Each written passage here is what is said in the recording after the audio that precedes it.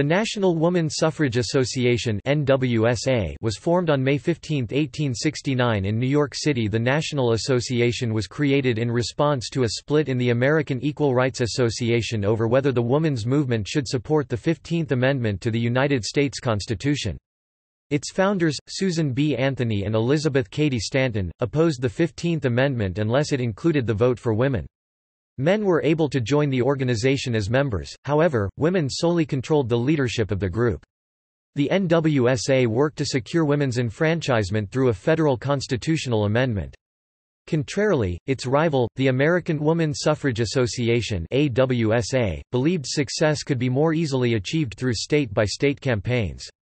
In 1890 the NWSA and the AWSA merged to form the National American Woman Suffrage Association NAWSA.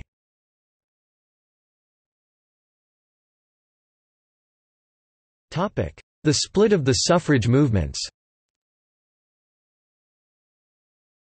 Although the harbingers of dissent within different factions of the woman suffrage movement may be seen in the National Woman's Rights Convention of 1860 the last national convention before the outbreak of the war, women's rights activism largely ceased during the Civil War. The movement re-emerged to the national scene in 1866 to organize formally under a new name, the American Equal Rights Association and defined by a new platform. Confronted by the proposal of the Reconstruction Amendments, which introduced the word male to the United States Constitution, the era eventually dissolved over whether suffrage for emancipated slaves and women would be pursued simultaneously.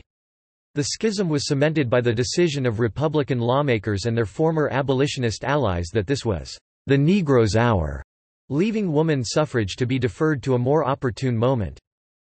Following the May 1869 American Equal Rights Association Convention, Elizabeth Cady Stanton and Susan B. Anthony, Jacqueline Valenzuela, and Bianet Cuevas Parra established the National Woman Suffrage Association hereafter referred to as the National. Feeling misguided and deceived, Stanton and Anthony resorted to such bold action largely due to their belief that the preponderance of men composing the era leadership had betrayed women's interest. In addition to a feeling of betrayal, deep differences between the factions of the movement centered on numerous issues, including how ERA funds were to be used, and, most importantly, whether the Reconstruction Amendments should be supported despite their failure to include women. Meeting at the Women's Bureau in New York City, Stanton, Anthony and delegates from 19 states of the ERA convention, appointed Elizabeth Cady Stanton as the National's president. Other prominent activists forming the National were Lucretia Mott, Martha Coffin Wright, Ernestine Rose part of the Executive Committee, Paulina Wright Davis Advisory Council of Rhode Island, Reverend Olympia Brown, Matilda Joslyn Gage, Anna E. Dickinson Vice President of Pennsylvania, Elizabeth Smith Miller and Mary Cheney Greeley among others. The women immediately turned their efforts toward passage of a constitutional amendment giving women the right to vote. In response, Lucy Stone, Henry Blackwell, Julia Ward Howe and Wendell Phillips among others established the American Woman Suffrage Association in September of that year in Boston. The death knell had rung upon the American Equal Rights Association.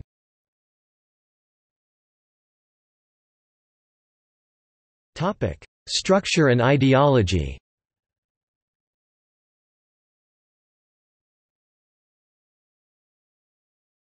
Topic: Structure Unlike the American Association who held their conventions in various cities across the country, the National Association held its annual conventions in Washington, D.C. with its efforts concentrated on the federal government. Although focused on national reform, the National established its headquarters in New York City, seeking to mobilize support among wage-earning women. The National Association was centralized and unitary in structure, as opposed to the more stringent delegate system of the American Association. Feeling slighted by the apostasy of men under the American Equal Rights Association, the National Association granted full membership rights for women only. Men could affiliate with the organization, however, women solely controlled its leadership. By the same token, Stanton and Anthony were willing to work with anyone, despite their view on other matters, as long as they wholeheartedly championed woman rights and suffrage. As a result, the National Association was often perceived as radical, unorthodox and aggressive. Such drastic measures included using racist appeals to win allies among Democrats. The National, however, often condemned both those Republicans and Democrats who ignored the suffrage question.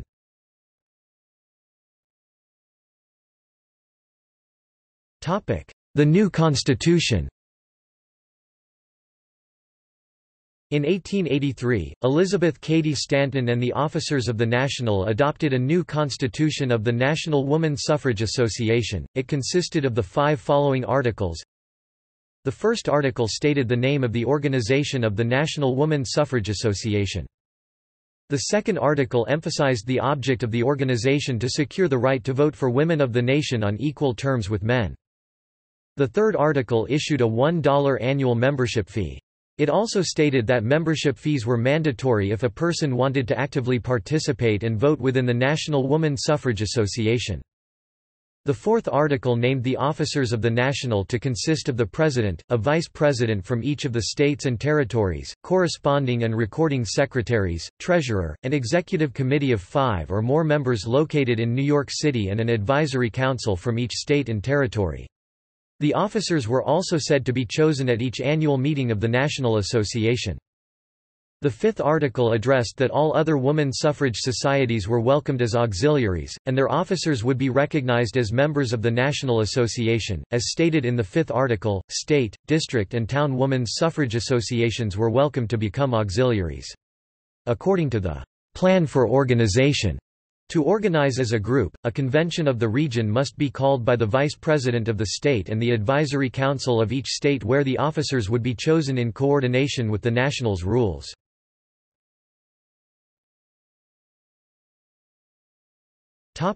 Ideology In founding the National Association, Stanton and Anthony regarded women's rights as a broad cause, in which the franchise was of primary importance.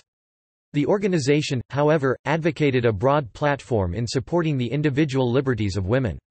As Eleanor Flexner explains, it the National was willing to take up the cudgels for distressed women whatever their circumstances, be they fallen women, divorce cases, or underpaid seamstresses. The broad focus espoused by the National Association allowed it to address a diverse array of social, economic and political issues. In advocating for a federal amendment to assure women the ballot, the National relied on a natural rights argument. The National adopted the constitutional argument put forth by Francis and Virginia Minor at the Missouri Woman Suffrage Convention in St. Louis in October 1869. Using a constitutional interpretation that used language and directly derived from the Fourteenth Amendment, the Minors argued that women had the right to suffrage because they were citizens.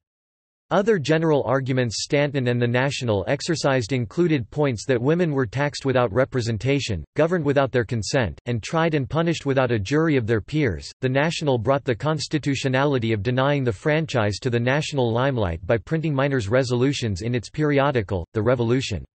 At the time of the National Association's Washington Convention of 1870, 10,000 copies of Minors' resolutions were circulating around the audience, with copies placed on every member's desk in Congress. In adopting such ideology, officers of the National Association soon began to later their speeches, resolutions, and hearing before Congress. They also made diverse attempts to vote in various states across the country.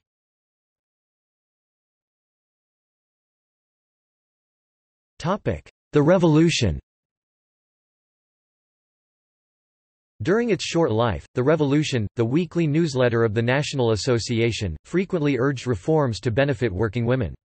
Supported by financier George Train, editor David Melliss and managed by Anthony, The Revolution paraded the motto, "'Men, their rights and nothing more, women, their rights and nothing less'". The weekly 16-page paper reported news not found elsewhere, such as the organization of women typesetters, of the first women's clubs, and of women abroad. The revolution for a short time gave the National a forum, focus, and direction.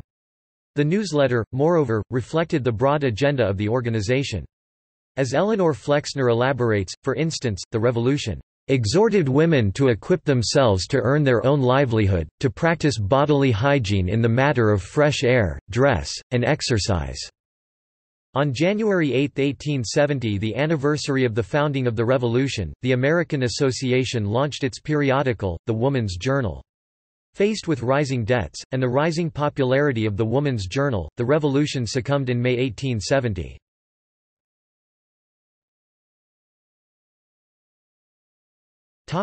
Accomplishments In the summer of 1876, the nation celebrated its centennial with a highly anticipated exposition in Philadelphia, the first of its kind in America. Opening headquarters in Philadelphia, the National Association sought to use the occasion to draw attention to the inequitable position of women, as well as to organize women from all over the country to exchange their knowledge and experiences. When Thomas W. Ferry, the presiding officer of the July 4 exposition, finished reading the Declaration of Independence, the ladies walked down the aisle and approached the stage where Anthony made a brief speech. Members of the National then presented the presiding officer with a Women's Declaration of Rights. The Women's Declaration of Rights listed the natural rights protected by the government as part of the social contract and went forth to state that the government was infringing upon those rights. In response, the authors listed nine rights for women labeled, "...articles of impeachment", these articles referenced the ways in which women were oppressed and wronged and asked the government to give women the civil and political rights guaranteed to them. One year later, at the Nationals Convention of January 1877, the organization continued to carry out bold reform measures. Keeping the pressure on Congress, the National drafted a federal amendment calling for woman suffrage, penned by Elizabeth Cady Stanton, that was reintroduced to the legislature annually until its eventual adoption in 1919. In the same year, furthermore, Anthony led a group of women onto the floor of the United States Senate bearing suffrage petitions with 10,000 signatures. Such efforts signify the extensive efforts of the National Woman Suffrage Association to keep the pressure on the federal government to promote the causes concerning women's rights while bringing the injustice they encountered to national prominence. In 1890 the National Association and the American Association merged to form the National American Woman Suffrage Association The merger negotiations between the two organizations began in 1887, dragged for three years, and were finally consummated at a joint convention in February 1890 where the NAWSA nominated Elizabeth Cady Stanton as its first president.